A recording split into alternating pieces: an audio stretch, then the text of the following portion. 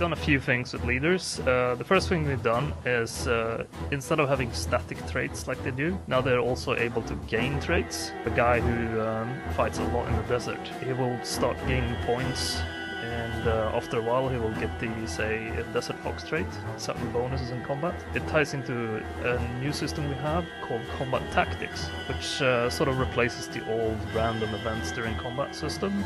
Tactics are picked uh, depending on say technology doctrines uh, what type of units you have leaders with specific traits can do specific tactics uh, also depends on the level of skill of your leader. We've redone the combined arm system. Now it's uh, much more defined.